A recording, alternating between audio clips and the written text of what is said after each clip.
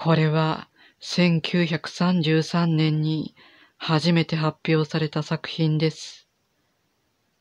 この作品には今日から見れば不適切と受け取られる可能性のある表現が見られますが、そのままの形で音読しました。その点をご了解の上、ご視聴ください。ギルバート・キース・チェスタトンは、1874年生まれ、1936年没のイギリスの作家、批評家、詩人、随筆家、推理作家としても有名で、カトリック教会に属するブラウン神父が遭遇した事件を解明するシリーズが探偵小説の古典として知られています。翻訳者、紫敏郎は1904年生まれ、1962年没の演劇活動家、翻訳家。古書の呪い、ザ・ブラスト・オブ・ザ・ブック、G.K. チェスタートン作、紫敏郎役オープン賞教授は、もし誰かに心霊主義者だとか、心霊主義の信者だとか言われると、ガタンとテーブルを叩いて、いつも感触を起こすのであった。しかし、これだけで持ち前の爆発が収まるわけではなかった。というのは、もし誰かに心霊主義の否認者だと言われても、やはり感触を起こしたからである。自分の一生を捧げて心霊現象を研究してきたのは彼の誇りであった。そういう心霊現象は本当に心霊の現れなのか、それとも単に自然現象の現れなのか、それを自分がどう思っているかについて、絶対にヒントを与えたことがないのも彼の誇りであった。彼にとって何よりも楽しかったのは、熱心な心霊主義者の輪の中に座って、自分がどういう風にして霊媒の正体を次々と暴き立て、インチキを次々と見つけ出したかという話を徹底的に詳しく話して聞かせることであった。というのは実際彼は一度目的物に目をつけたら最後、非常な探偵能力と洞察力を発揮したし、いつも霊媒には大いに怪しい目的物として目をつけたからである。同じ心霊主義のペテン師が三つの違った変装をしているのを見つけた時の話がある。女になったり、真っ白な顎ひげの老人になったり、濃いチョコレート色のバラモン京都になったりしていたのであった。こういう話を詳しく聞かされると、本当の信者たちはかなり落ち着かなくなったが、実はそれが教授の狙いであった。しかし、心霊主義者だって、インチキな霊媒の存在を否定するわけではないから、別に文句は言えなかった。ただ、なるほど教授の滑らかな話ぶりが、霊媒はみんなインチキだと言わんばかりに聞こえるのかもしれなかった。しかし、頭の単純な無邪気な唯物論者には災いあれ。しかも、唯物論者は全体的にかなり無邪気で頭が単純である。連中はこういう話の傾向から勝手に想像して、幽霊は自然の法則に背くとか、そんなものは古い迷信に過ぎないとか、すべてがたわごとか、さもなかったら、でたらめだとかいうふうに議論を進めるのである。こういう相手には教授は、不意にすべての科学の放火をあべこべに向け替えて、惨めな合理主義者が一度も聞いたことがないような、疑う余地のない事件や説明のつかない現象を一斉に並べ立てて相手を投げ払うのであった。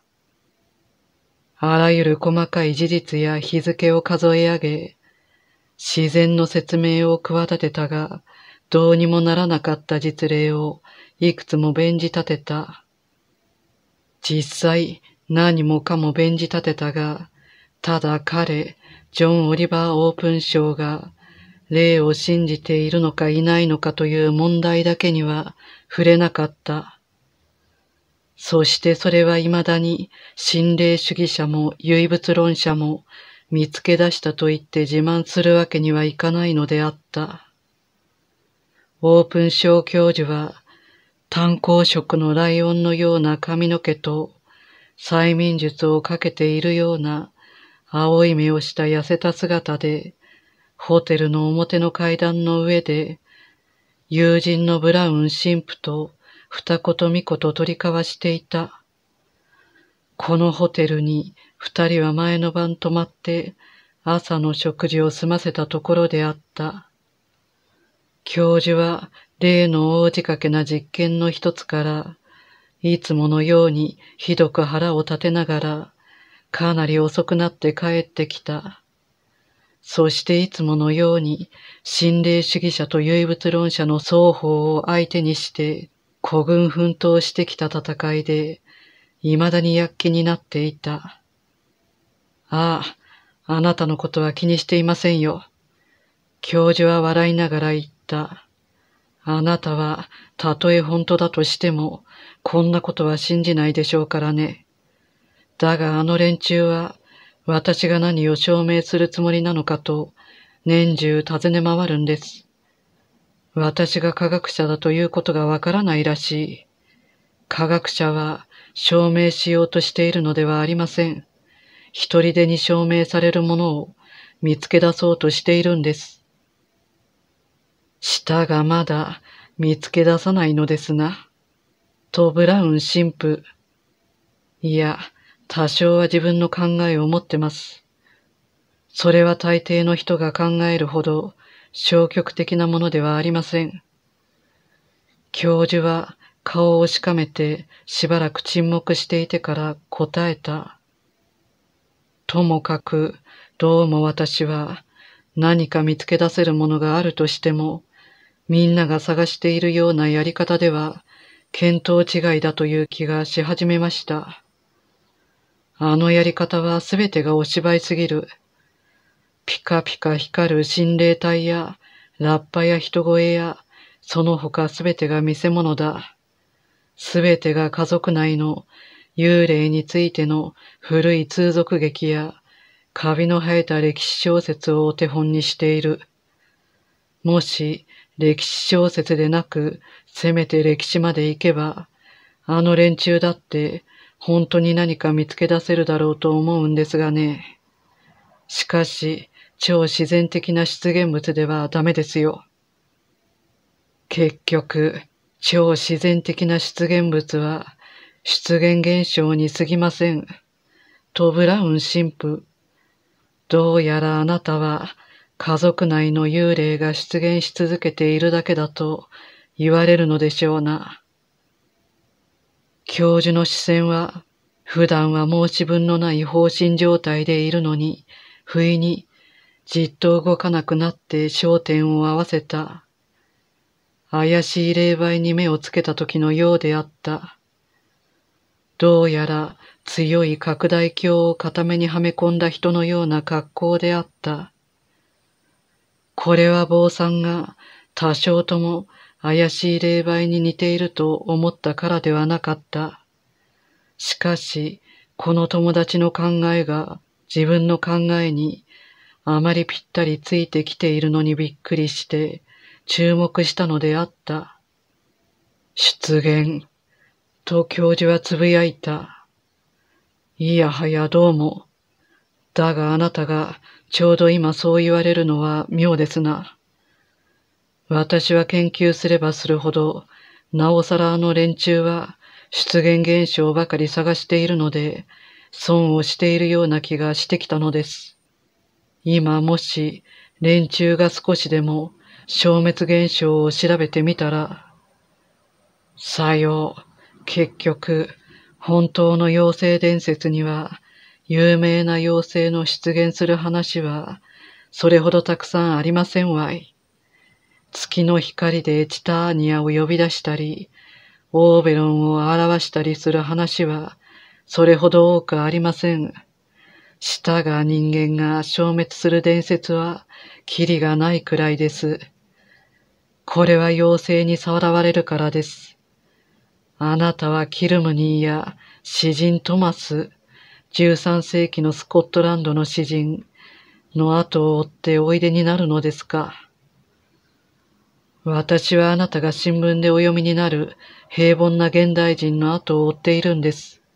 いや、あなたが目を見張るのは無理もありません。しかし今のところ、それが私の狙っている獲物です。それも随分前から追っかけているんです。率直に言って、私は心霊的な出現現象の多くはすっかり説明できると思います。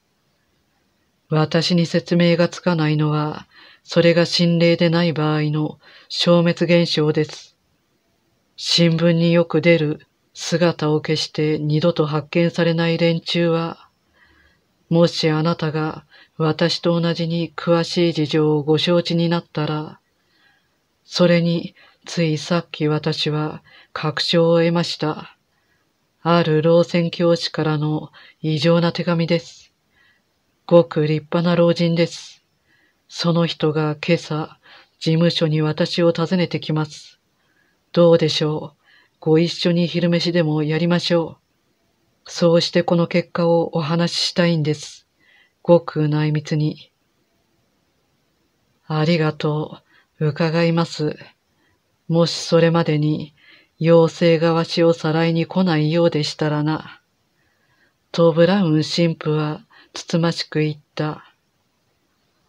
それで二人は別れて、オープンショーは角を曲がると、この近所に借りてある小さな事務所へ歩いて行った。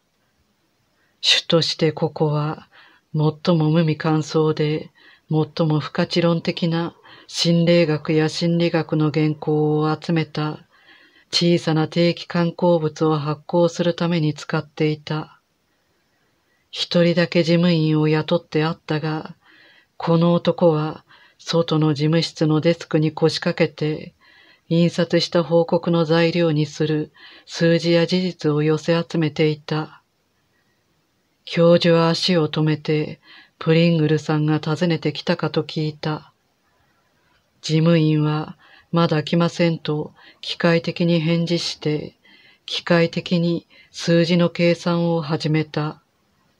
そこで教授は自分の書斎にしている奥の部屋に向かおうとした。ああ、時にね、ベリチ君。教授は振り向きもしないで言い添えた。もしプリングルさんが見えたら、まっすぐに私のところへ通してくれたまえ。君は仕事の手を休めなくてもいい。その記録はできれば今日中に仕上げてほしいんだ。もし私が遅くなったら、デスクの上へ置いといてくれればいい。そう言って教授は自分の専用室に入っていったが、プリングルという名前から思い出した。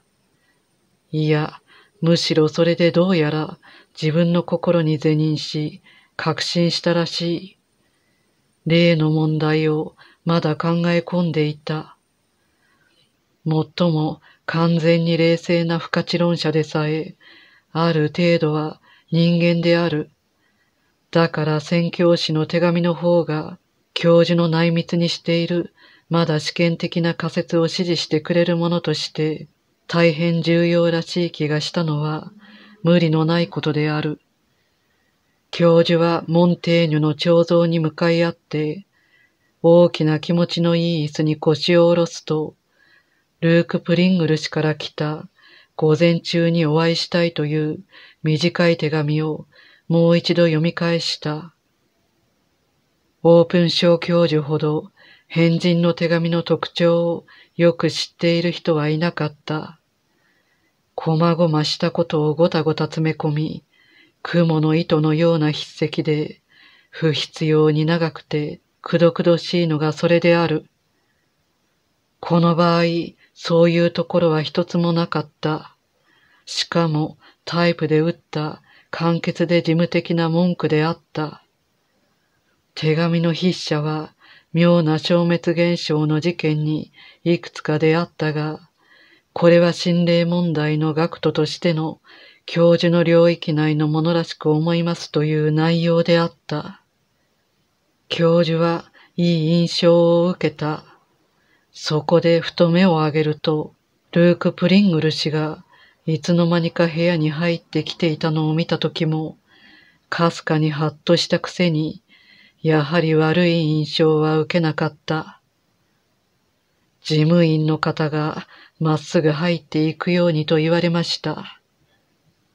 プリングルさんは言い訳をするように言ったが、かなり愉快そうにニヤニヤ笑っていた。その笑顔は白髪混じりのふさふさした赤い顎ひげと頬ひげのために半ば隠れていた。ジャングルの中に住んでいる白人が生やしているような、全くジャングルそっくりの顎ひげであったが、獅子花の上の目には野蛮だとか異国風だとかいう感じは全然なかった。オープンショーはすぐさまその方にあの集中的なスポットライト、すなわち凸レンズを向けて疑い深く吟味した。それは今までにも多勢の相手に向けて、こいつはペテン師か気違いではないかと見届けた眼光であるが、この場合は教授としてはかなり珍しく再確認する意味であった。乱れた顎ひげは変わり者の生やしそうなものであったが、目は全く顎ひげと相反していた。その目には危険なペテン師や危険な狂人の顔には絶対見られない、あのごく率直で親しげな笑いが溢れていた。こういう目をしている男は、ひどく疑い深いペリシテ人、実利主義の俗物にありがちで、幽霊や心霊に対して船舶だが、心からの軽蔑を大声で叫び出す男かもしれなかった。しかしともかく、職業的なペテン師には、こんな軽々しい顔つきを見せる余裕はないものである。男は、みすぼらしい古いマントのボタンを喉元までかけていた。装飾を思わせるものは、幅の広いしなやかな帽子だけであったが、未開の土地から来た宣教師は、必ずしも面倒な装飾らしい服装をしているとは限らないものである。おそらく、あなたはこれもまたデタラメの一つだとお考えでしょうな、先生。プリングルさんは、なんだかポカンとして楽しんでるような口調で言った。ですからあなたがごく自然に否認なさるような態度を見て、私が笑ったりした失礼をお許し願います。それにしても、私はどなたかこういうことをよく知っている方に、この話をしなければなりません。なぜかというと、こりゃ本当の話だからです。それに冗談を抜きにして、これは本当であると同時に悲劇なのです。さて、手っ取り早く申し上げると、私は西アフリカのニヤニヤという森の真っ只中で布教していました。そこにいたほとんど唯一の白人は、その地方を支配するお役人、ウェールズ大尉でした。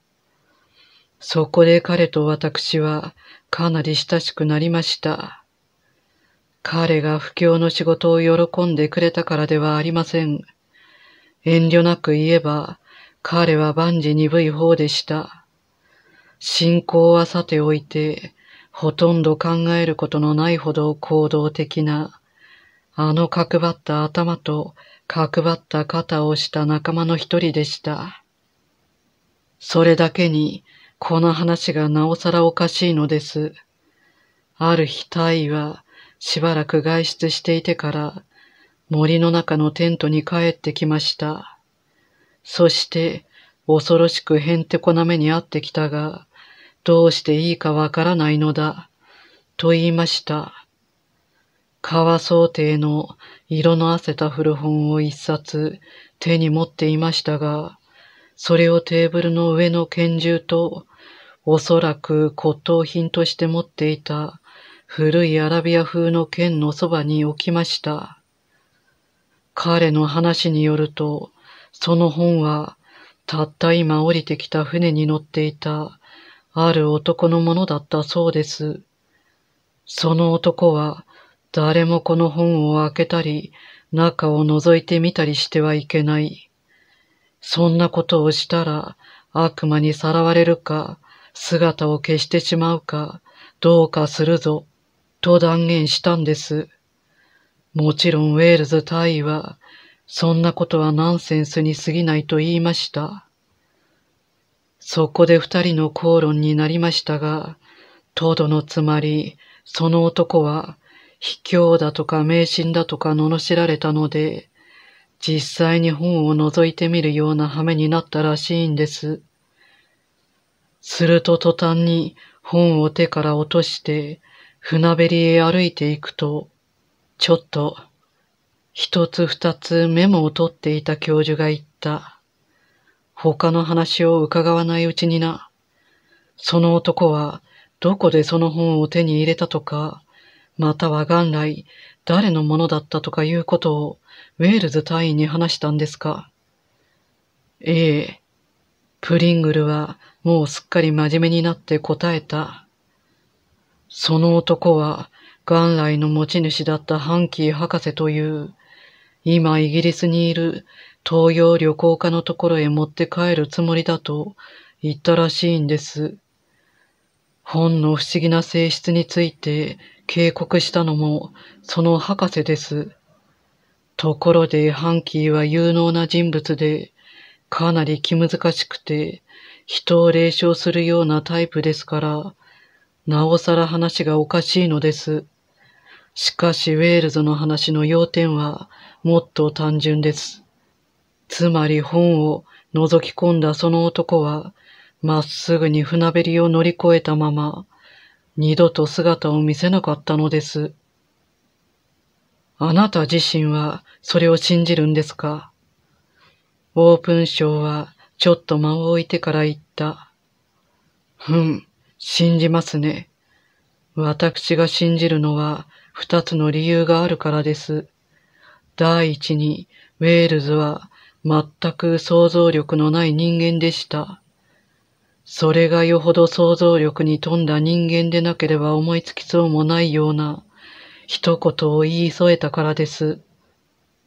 彼は、その男がまっすぐに船べりを乗り越えたのは、静かで穏やかな日だったが、水しぶき一つ立たなかった、と言いました。教授はしばらく黙ってメモを見ていたが、やがて言った。ではあなたがそれを信じるもう一つの理由は、もう一つの理由は、私が自分で見たことです。トルーク・プリングル氏は答えた。また沈黙が続いたが、やっとプリングル氏が相変わらず実際的な口調で話を続けた。何にしても、この男には変人や信者などが他人を解き伏せようとするときの熱心ぶりは、まるで見られなかった。さっき申し上げたように、ウェールズはその本をテーブルの上の剣のそばに置きました。テントにはたった一つ出入り口があるだけでした。たまたま私はテントの中に立って、相手の体位に背中を向けたまま、遠い森の中を見ていました。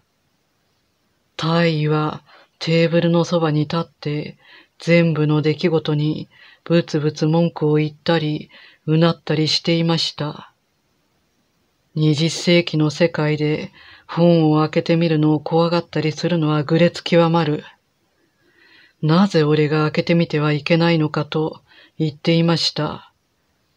その時私はなんだか本能的にビクッとしたので、そんなことはしないでハンキー博士に返す方がよかろうと言いました。どんな危険があると言うんだ？とタイは落ち着かない様子で言いました。どんな危険がありましたか？と私は頑固に言ってやりました。船の中のお友達はどうなったんですか？大尉は返事をしませんでした。実際、何とも答えようがないのは分かっていました。ところが私は、ほんの虚栄心から自分の理屈が優勢なのを強調しました。そうなると、船の中で現に起こったことをあなたはどう解釈するのですか？と言ってやりました。やはり彼は返事をしませんでした。そこであたりを見回すと、私は彼がいなくなっているのに気がつきました。テントは空っぽでした。例の本はテーブルの上に乗っていました。開いていましたが、まるで彼が下に向けておいたように伏せてありました。しかしあの剣がテントの反対側に近い地上に転がっていて、テントのカンバスに大きな穴が開いていました。まるで誰かが剣で切り裂いて出て行ったような格好でした。テントの深い裂け目があんぐり口を開けていましたが、外の森の暗い尾行が見えるだけでした。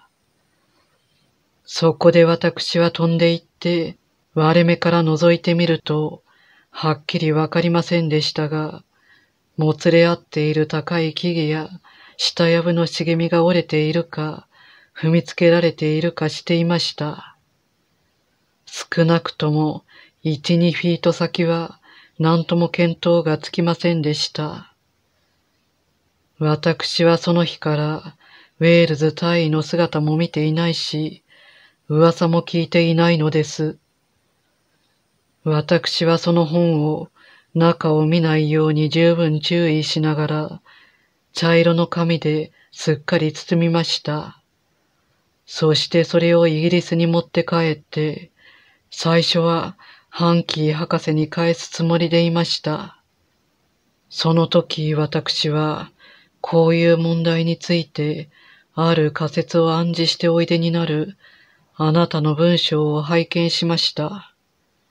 そこで私は途中で足を止めて、あなたに事件を聞いていただこうと決心しました。あなたは冷静で自由な考え方をなさるという評判ですからね。オープンショー教授はペンを下に置いてテーブルの向こう側の男をじっと見た。たった一目ではあるが、その視線にこもっていたのは、多勢の全く違ったタイプのペテンシや、時には風変わりで並外れたタイプの正直者さえ扱ってきた長い間の経験であった。普通なら、教授はまず第一に、そんな話は嘘の塊だという健全な仮説をもとにして取り掛かったであろう。全体としては嘘の塊だと考えたかった。それにしても教授は、この男がそんな嘘の話をするとは思えなかった。もちろん、こんな嘘を話す、こんな嘘つきを今までに見たことがないというだけのことかもしれなかった。この男は大抵のホラ吹きや詐欺師とは違って、表面正直そうに見せかけようとしていなかった。ともかく、その点まるで反対らしかった。つまりこの男は単に表面だけでは正直と言えそうもないのに、実は正直者だという感じであった。教授はこいつは一つだけ無邪気な妄想を抱いている善良な人間ではないかとも考えた。しかし、それでもやはり兆候が違っていた。なんとなく男らしい無関心なところさえ感じられたからである。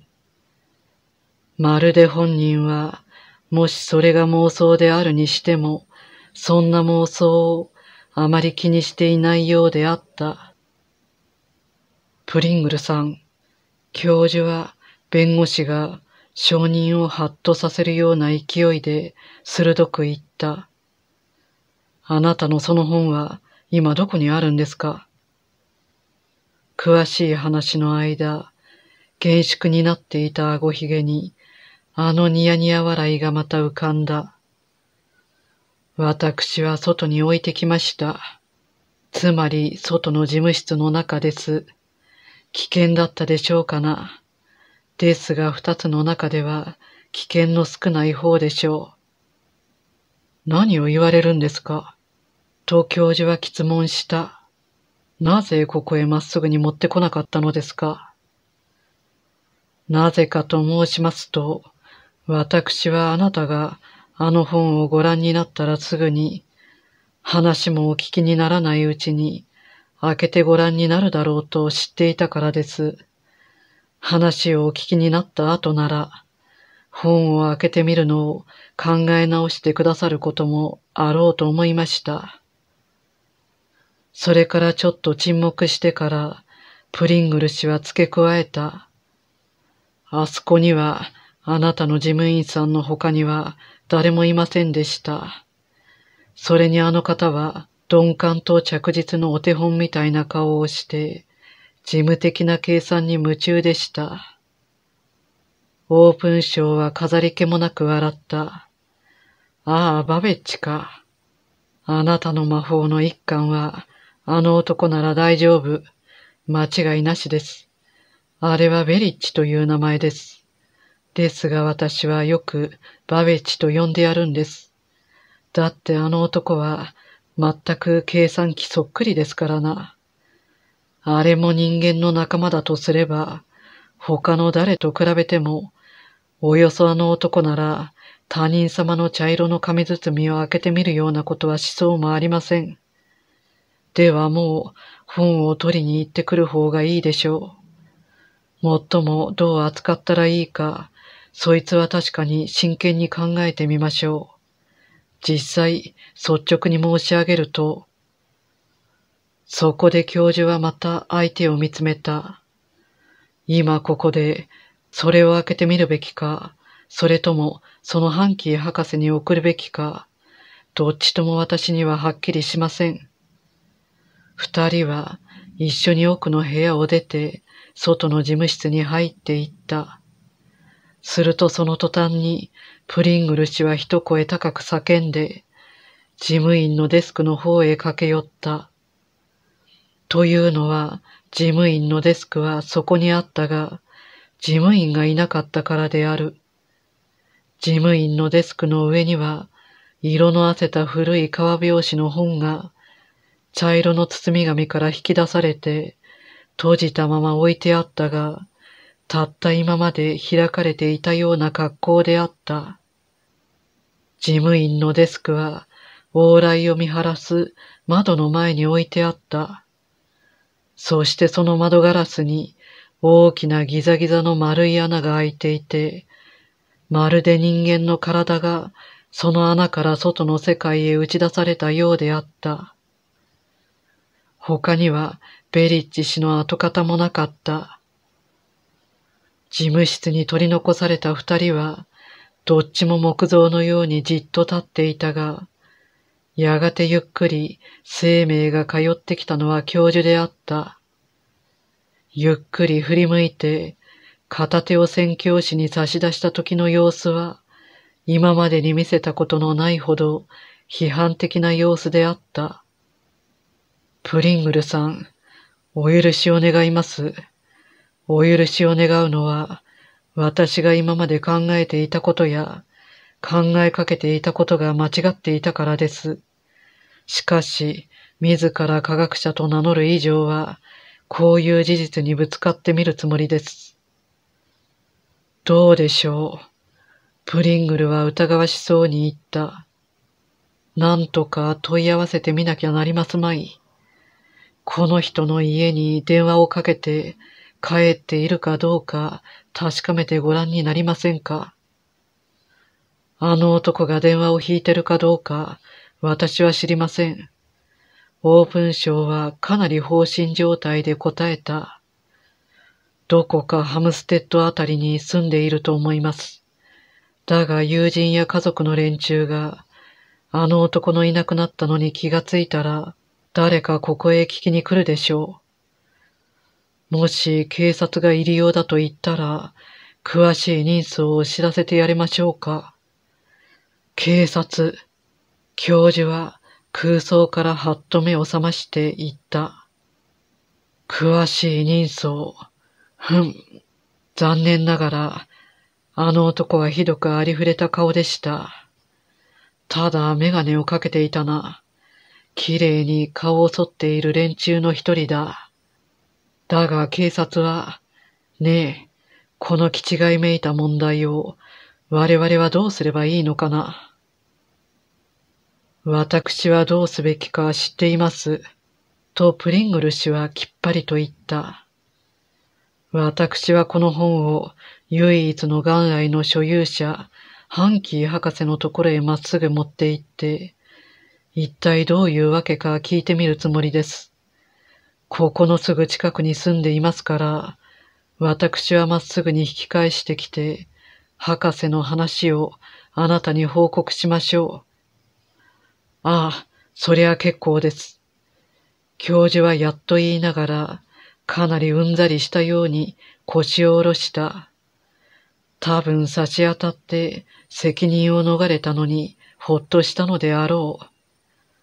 しかし、小柄な宣教師のキビキビした足音の響きが、往来の向こうに消えてしまってからも、いつまでも教授は同じ姿勢のまま幻を見ているように空間を見つめていた。教授は同じキビキビした足音が表の歩道に聞こえて、宣教師が、今度は一目でわかる通り、空手で入ってきた時も、やはり同じ椅子にほとんど同じような態度で座っていた。プリングルは厳粛に言った。ハンキー博士は、あの本を一時間の間預かっておいて、要点を熟考してみたいということです。それから我々二人が訪ねていけば、博士の決断を話してくださるそうです。特に希望されていたのは、先生、今度訪ねるときは、ぜひあなたが同行してくださるようにということでした。オープンショーは黙ったままやはり見つめていた。それから不意に言った。畜生。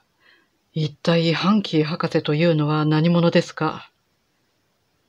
あなたの言い方ですと、まるで博士が畜生だと言われたように聞こえます。プリングルは微笑みながら言った。それにどうも人によるとそう思っている方もあるようです。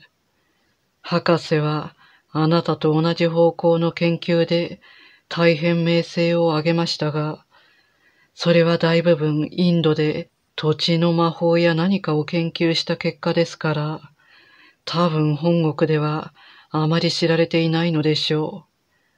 黄色い顔の痩せこけた小男で、片足びっこを引いていて、疑り深い性質です。しかしここでは普通の開業医として尊敬されているようです。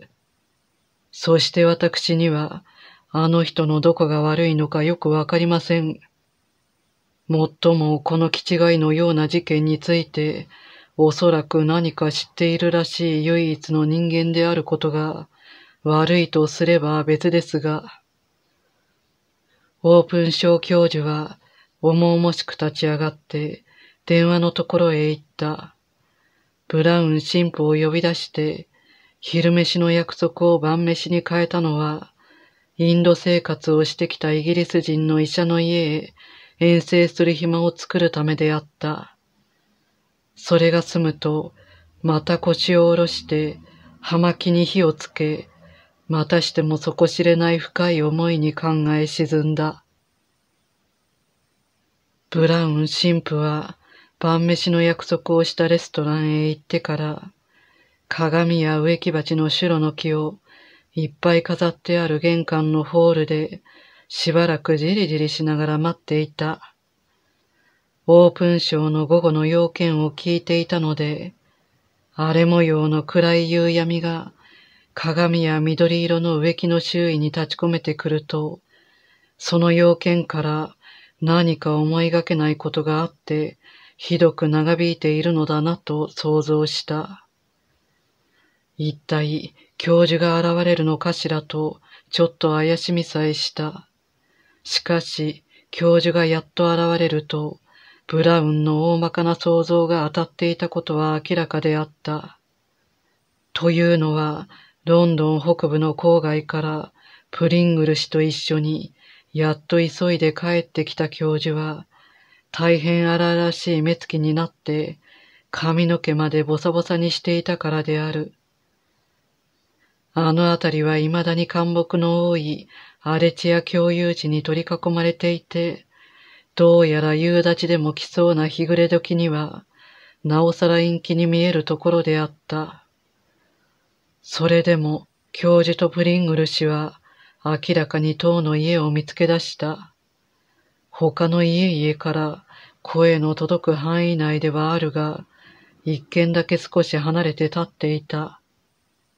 真鍮の表札には、医学博士、王立外科大学会員、J.I. ハンキーときちんと彫ってあるのを確認した。ただ二人には、医学博士、王立外科大学会員 J.I. ハンキーが見つけ出せなかった。二人が見つけ出したのは、いつの間にか悪夢のように心の底で密かに予期していたものだけであった。ありふれた診察室のテーブルの上に問題の書物が載っていて、今読んだばかりのようであった。そしてその先に裏口のドアが大きく開いていて、かすかな足跡が、びっこの男にはそう軽々と駆け上れそうもないほど、急な庭の細道を少し駆け上がっていた。しかし、かけたのはびっこの男であった。というのは、そのわずか二散歩のうちに、格好の悪い平均していない下界用の靴跡が片方だけあったからである。それから、まるでその男が片足で飛んだかのように、その片方の靴だけの跡が二つあって、その先は何もなかった。J.I. ハンキー博士からは、例の決断をしたらしいという事実以外、それ以上何も得られるものがなかった。博士はあの信託を読んで運命の選択を受けたのであった。二人は修路の木の下の入り口を入ってくると、プリングルがまるで指に燃え尽きでもしたかのように、慌ててその本を小さなテーブルの上に置いた。坊さんは物珍しそうにちらりと本を見た。表紙に荒っぽい筆跡で二行の詩が書いてあるだけだった。この書を覗き見る者は、飛行の恐怖に襲われる者。そしてその下には、後で坊さんが発見したことだが、同じ警告がギリシャ語とラテン語とフランス語で書いてあった。帰ってきた二人は、頭を悩ました上に疲れ切っていただけに、自然の衝動から飲み物が欲しかったので、そっちは見ようともしなかった。そしてオープンショーがボーイに声をかけると、ボーイはカクテルをお盆に乗せて運んできた。あなたは我々と一緒にお食事をなさってくださるでしょうな。と教授は宣教師に言ったが、プリングル氏は愛想よく首を振った。お差し支えなかったら、私はどこかで一人になって、この本やこの事件と取り組むつもりです。あなたの事務所を一、二時間使わせていただけないでしょうか。どうも、残念ながら情が下ろしてあります。オープンショーはややびっくりしていった。あなたは窓に穴が開いているのをお忘れですね。ルーク・プリングル氏は例のニヤニヤ笑いの中でも最も派手ににやりと笑って表の暗闇に消えてしまった。かなり妙な男だな、結局。教授は顔をしかめながら言った。教授がちょっと驚かされたのは、ブラウン神父がカクテルを持ってきたボーイに、どうやらその男のごく内輪の問題について話しかけていたことであった。もう赤ん坊が危険を逃れたというような話が出ていた。教授はどうして坊さんがこのボーイを知っているのかしらと不思議に思いながら、ややびっくりしたようにそのわけを聞いた。しかし坊さんはこう言っただけであった。ああ、わしは二三ヶ月ごとにここで食事をしますし、時々あの男に話しかけることがあります。教授は自分はここで一週間に五回ほど食事をしているのに、その男に話しかけようなどとは夢にも考えたことがないのに気がついた。しかし、この考えは、けたたましくベルが鳴って電話に呼ばれたので中断された。電話の声はプリングルです。と言った。どうやら何かに包まれたような声であったが、あのぼうぼうと茂った顎ひげに包まれているとすれば無理はなかったろう。話の内容はプリングルだということを証明するのに十分であった。先生、とその声は言った。私はもう我慢ができません。自分で見るつもりです。今あなたの事務所から電話をかけているところで、本は目の前にあります。もし私の身に何か起こるとすれば、これがお別れの言葉になります。いや、乙女になっても無駄です。ともかく、もう間に合いますまい。私は今本を開くところです。私は、オープンショーはなんだかゾッとするような身震いの出る、そのくせほとんど音もなく倒れる音を聞いたような気がした。そこで何度も繰り返してプリングルの名前を怒鳴ったが、もう何も聞こえなかった。彼は受話器をかけると、どうやら絶望の落ち着きとでも言うのか、堂々とした学者らしい落ち着きを取り戻して、食卓の自分の席へ引き返して、静かに腰を下ろした。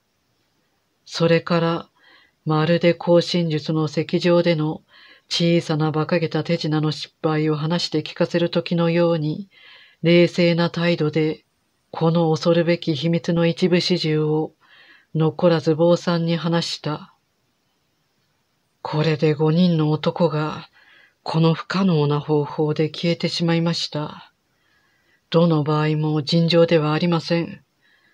それにしても私がどうにも見当のつかない一つの場合は私の事務員のベリッジです。あれが一番おかしな事件だと思うのはあの男が一番静かな存在だったからです。さよう、ともかく、ベリッジの仕業としてはおかしなことです。とブラウン神父は答えた。あの男はひどく良心的でした。いつも事務所の仕事と自分の冗談をきちんと切り離しておくほど馬鹿に気をつけていました。だって、あの男が家では大変なユーモリストだということは、ほとんど誰も知らなかったでしょうし。ベリッジが、と教授は叫んだ。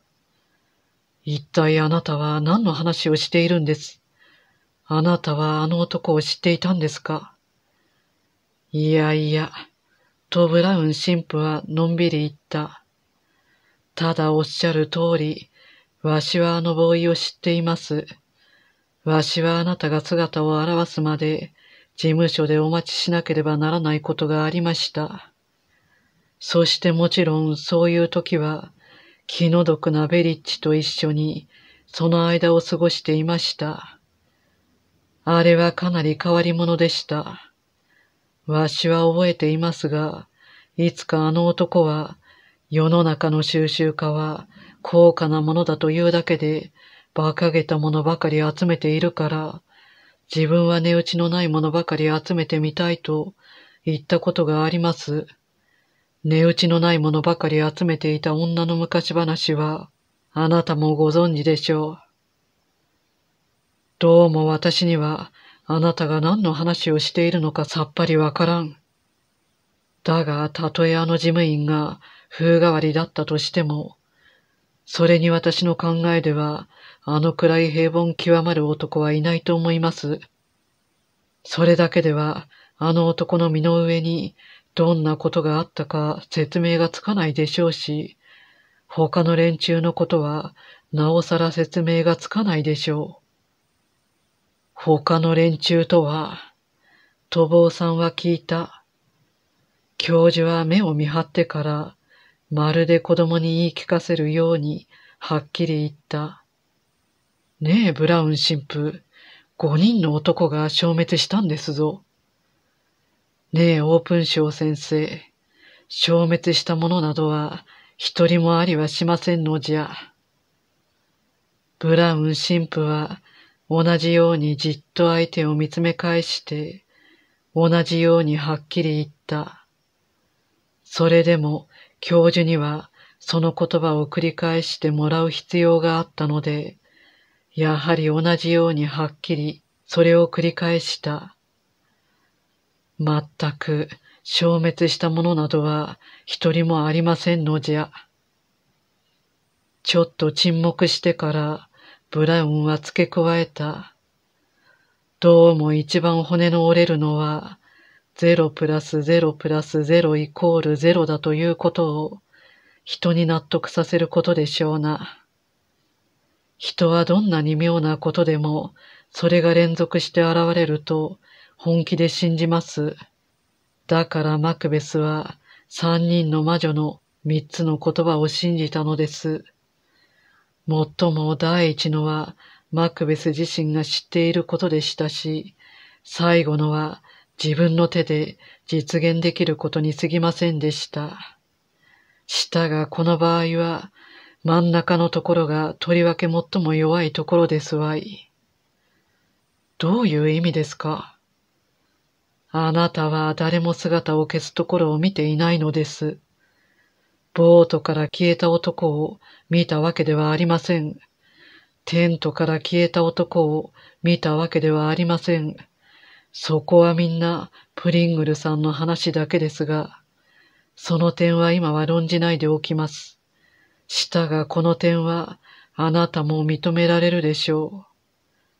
あなたはご自分の事務員が姿を消して、この話が証明されるのをご覧にならなかったら、決してプリングルさんの言葉を受け入れなかったでしょう。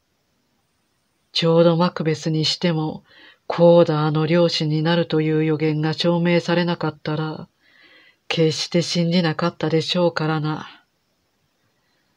そいつは本当かもしれない。教授はゆっくりうなずいて言った。しかし、それが証明されたので、私は事実だと知ったのです。あなたは私が何も見ていないとおっしゃる。だが私は見ました。自分の事務員が消滅するのを見ました。ベリッジは消滅しました。ベリッジは消滅したのではありません。とブラウン神父。あべこべです。一体、あべこべというのはどういう意味ですか？つまり、決して消滅したのではないという意味です。あの男は出現したのです。オープンショーは向こう側の坊さんに目を見張ったが、その目つきは新しく提供された問題に集中するとき変わるのと同じに、いつの間にかすっかり変わっていた。坊さんは話を進めた。あの男は、ぼうぼうとした赤い顎ひげで変装した上、汚いマントのボタンをすっかりかけて、あなたの書斎に出現しました。そしてルーク・プリングル氏だと名乗りました。それなのにあなたは、ご自分の事務員をよく気をつけてみたことがないので、そんなお粗末な即席の変装でさえ見破れなかったのです。だがきっと、と教授は言いかけた。あなたはあの男の人相を警察へ知らせてやれましたか？ダメだったでしょう。おそらくあなたが知っていたのは、あの男がきれいに顔を剃って色のついたメガネをかけていることだけでしょう。だからあのメガネを外しただけで何か他のものを身につける以上の立派な変装でした。あなたはあの男の心の底と同じに目を見たこともなかったのです。陽気に笑っている目です。あの男は例のバカバカしい本やすべての小道具類を仕掛けておいたのです。それから静かにガラスを割って、顎ひげとマントを身につけると、あなたの書斎に入っていきました。あなたが今までに一度もあの男の顔をよく見たことがないのを承知していたのです。だが、どうしてあいつは私にそんな芸当をしてみせたんですか？とオープンショーは質問した。なぜって、そりゃあなたが今まで一度もあの男の顔をご覧になったことがないからですわい。とブラウン神父は言った。そしてもし身振りをする気があったら、テーブルを叩きつけでもしそうに、片手がかすかに歪んだ。あなたはあの男を計算機だと言われたが、それは今までそれだけにしか使わなかったからです。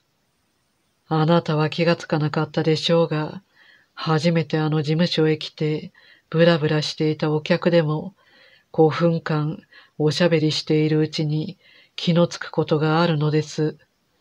つまりあの男はしっかりした人物で、なかなかおどけたところがあるし、あなたの人物やあなたの理論やあなたの人を見分けるという評判の才能について、なかなかいろんな意見を持っていました。あの男は、あなたには自分の事務員が見分けられないのを証明したくて、うずうずしていたのがお分かりになりませんか？あの男には何でもナンセンスにしてしまう傾向があります。例えば、無用のものの収集です。あなたは、およそ無用の二つのもの、お医者の古い真鍮の名札と一本の木製の義足を買い込んだ夫人の話をご存知ありませんか？それを使って、あの器用な事務員さんは、特徴のあるハンキー博士の性格を作り上げたのです。架空の人物、ウェールズ大尉と同様に、苦もなく作り上げました。それを自分の家に仕掛けてから、では、我々がハムステッドの先で訪ねたところは、ベリッジの自宅だったというわけですか。あなたはあの人の家をご存知でしたかいや、番地さえどうでしょうかな。逃亡さんはやり返した。いやいや、わしがあなたのお仕事や、あなたを軽蔑して言っているのだとは思わんでください。あなたは真理に奉仕する偉大な人ですから、わしがそれを軽蔑するはずはありませんのじゃ。あなたは心に留めてみたときは、山ほど嘘つきを見抜いたことが終わりです。舌が嘘つきだけ見ていてはいけません。どうぞ、ほんのたまにでも、正直者を見てください。あのボーイのような男を。ベリッジは今どこにいるんですか？教授は長い間黙り込んでいてから尋ねた。そりゃもう確かにあなたの事務所に帰ってますわい。実はルーク・プリングル氏があの恐ろしい本を読んで空中に消えて亡くなったその瞬間に、あの男は事務所に帰っていたわけです。また長い沈黙が続いたが、やがてオープンショー教授は笑い声を上げた。偉大すぎて小さく見えるほど偉大な人の笑いであった。それから出し抜けに言った。どうもこりゃ当然の報いでしょうな。わしは一番手近の助手に気がつかなかったのですからな。しかし、あんな風に事件が積み重なってくると、なかなか恐ろしいものだということは認めていただかねばなりますまい。あなたはあの恐るべき本にほんの瞬間でもイフを感じた覚えが絶対になかったのですか。ああ、それじゃ。とブラウン神父は言った。わしは事務所に置いてあるのを見たとき、すぐ開けてみました。全部真っ白でした。ほれ、わしは迷信家ではありませんからな。以上、古書の呪い、ザ・ブラスト・オブ・ザ・ブック、G.K. チェスタートン作、紫敏郎役でした。ありがとうございました。